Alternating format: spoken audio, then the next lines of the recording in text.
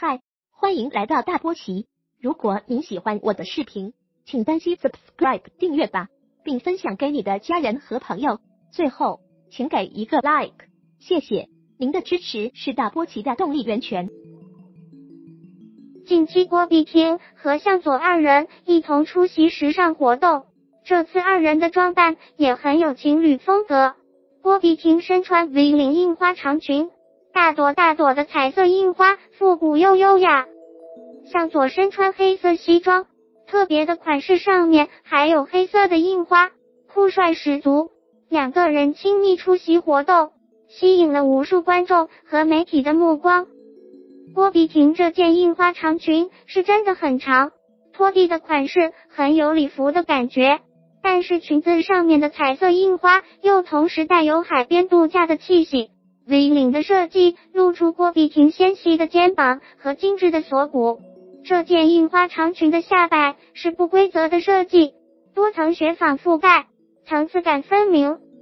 而向左的这身黑色西装上身以白色衬衫打底，白色衬衫与黑色西装的搭配是很经典又通勤的商务穿搭。另外，向左的肤色比较深，黑白配更有质感。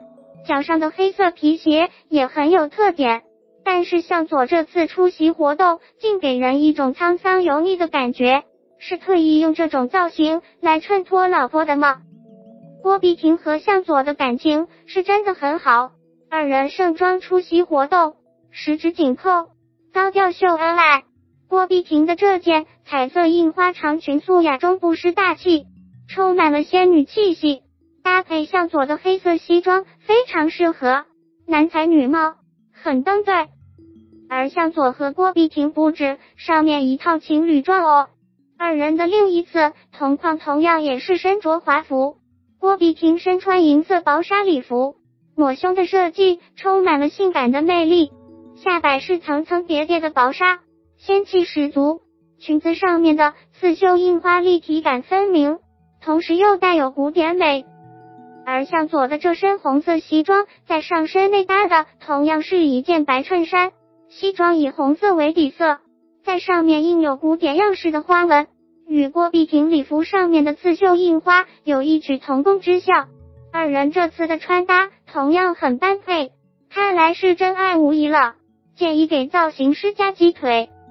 除去以上的两组穿搭，求婚当天二人也很搭配。